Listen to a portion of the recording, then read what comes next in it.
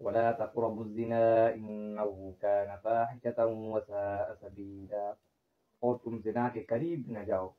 انه كان فاحشا یہ بے حیائی کی بات ہے۔ فحش کام ہے، وساء سبیلا اور برا راستہ ہے۔ یہاں اللہ تبارک و تعالیٰ زنا کے من جملہ جو لوازمات ہیں، جو انسان کو اس بدکاری اور بدعمالی پر پہنچاتے ہیں، ان سے اپنے آپ کو بچانا چاہیے، دور رکھنا چاہیے۔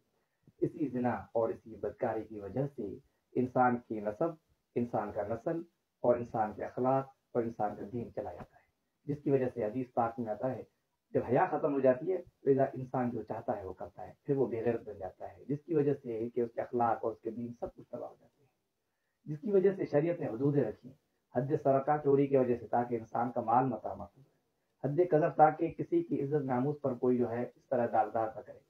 حد خمر، شراب کے اوپر حد لگائی تاکہ انسان کی عقل محفوظ رہے اور حد زنا لگائی تاکہ انسان کا نسل محفوظ رہے۔ اور آج کل تو ہمارے معاشرے میں لواطن کا عمل بھی بہت زیادہ ہے کہ شیطان ایک مرتبہ کسی باغ کے اندر گیا خوبصورت انسان کی شکل میں آ کے اس باغ کو جو ہے، درخت کو جو ہے، وہاں سے جو سمراٹ ہے ان کو گرا رہا تھا۔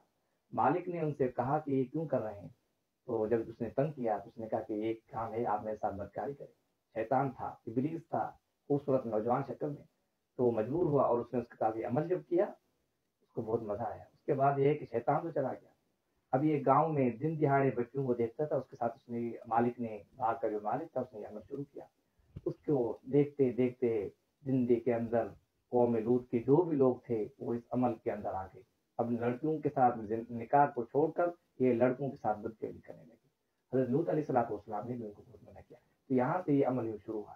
حدیث پاک میں آتا ہے جو شخص بدکاری کرتا ہے، زنا کرتا ہے سات زمین سات آسمان اس پر لن فرماتے اور قیامت کے دن ہوگا، ان کے شرم گاؤں سے۔ ایسی بدبو ہوگی کہ جو جہنم میں ان کے ساتھ ہوں گے، وہ بھی پناہ مانگیں گے۔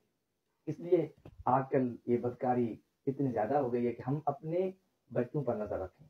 کہ اسکول کے اندر، مدرسے کے اندر، مسجد کے اندر جہاں وہ پڑھنے جاتے ہیں، تو وہاں پہ جو ہے وہ کیا کرتے ہیں؟ اور کس کے ساتھ گھومتے ہیں، پھرتے ہیں، وہ ہمیں دیکھنا چاہیے۔